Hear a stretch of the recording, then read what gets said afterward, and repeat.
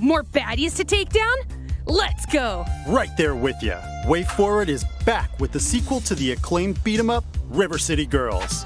There's trouble brewing once again in River City with higher stakes, meaner streets, and even more over the top humor.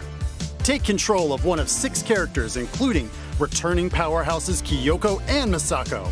Each character has their own fighting style and upgradable movesets, which you'll need as you set off on a new quest, picking up where the first game left off. And when we say new, we mean it. New moves, enemies, areas, items, and a new soundtrack by the first game's composer, Megan McDuffie. Not to mention branching paths, as well as a return of a familiar foe.